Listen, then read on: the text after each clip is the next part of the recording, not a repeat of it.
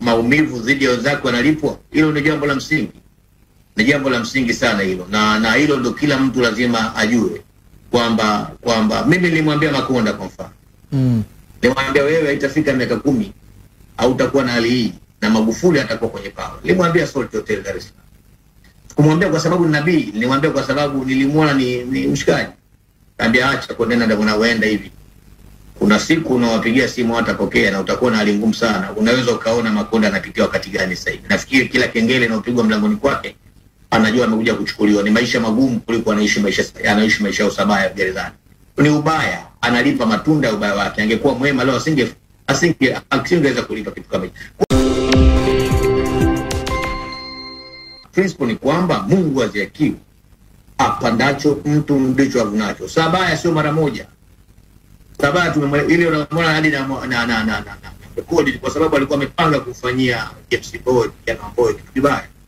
Kwa nilikuwa nimeconfront na nilisema nimrekodi tu kama ushahidi kwamba hii taarifa mimi pia nilipewa na, na, na, na James Boyd. Ndio nikamuonya, nikaambia utalipa. Anaachaje kulipa? Una unapigilia watu misumari, unanyang'anya watu pesa, unabaka watu. Una- Huyu Mungu, huyu Mungu sio kiziwi hata asisikie huyu Mungu sio kipofu kwamba sio, yani huyu Mungu aliyekupa macho sio kipofu asione haya mateso wanaotandiwa watu. Kwa hata anaipanda hata kinachofanyika sasa, hata kama kinafanyika kimkakati, kwa sio sio kwamba mambo uuni umeisha, uuni unaendelea. Kwa vile wanafanya kimkakati, watalipa kimkakati. Only time will tell. As Bob Marley, only time will tell. Only time will tell. Mimi naamini kabisa kuna majira ya kupanda na majira ya kuvuna. Katika majira unaoishi, panda wema, panda haki, panda upendo, panda urafiki, ondoa chuki katika maisha yako, tetea watu, tumia fedha yako kwa ajili ya watu, tumia akili yako kwa ajili ya watu, tumia talents ama skills yako kwa ajili ya watu, utavuna mambo mema kabisa. Unakumbuka juzi Makongoro alisema ukimtafuta tafuta yeye um, um duniani ijulikane hata amefanya nini, lakini anachojua kwamba yeye ni mtoto wa baba wa taifa. Nafikiri unaona hiyo statement ilienda viral sana.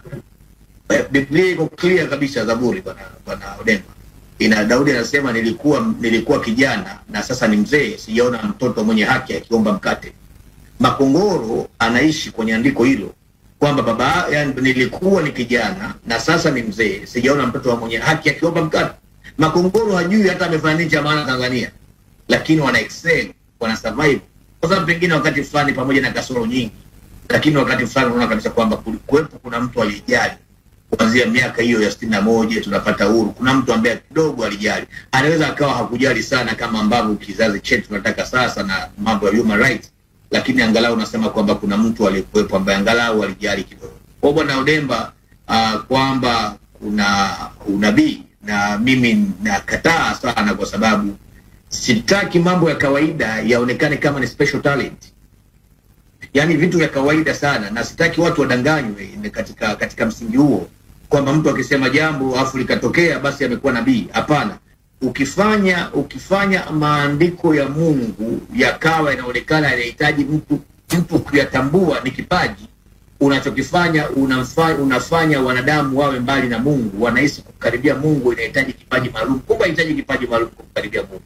Mheshimiwa Lema, mimi, mimi si mtabiri wala si mtaalamu wa maandiko, lakini kitabu cha Mathayo saba mstari wa kwanza unasema msihukumu, msije mkahukumiwa. Kwa nini wewe unahukumu wenzio? Eh, God bless Lema. Unajua, kuna katika Biblia, unaposoma Biblia bwana, mimi ni, ni, ni, ni sana Biblia. Unaposoma Biblia unasoma neno la Mungu, alafu kuna kitu kinaitwa neno kutoka kwa Mungu, revelation. Revelation is what you get inspiration, ni ile inspiration na ile unachukua reveal unaposoma neno la Mungu. Sasa hapo inaposema msihukumu mkaja mkahukumiwa, wewe unafikiri kuhukumu ni kusema wewe Demba acha uzinzi. Nikikwambia acha uzinzi, nayo ni mzinzi, sio hukumu. Nimekuonya, na ndio maana Biblia kwenye Wakorinto inasema anayestahili hofu apewe hofu, anayestahili heshima apewe heshima.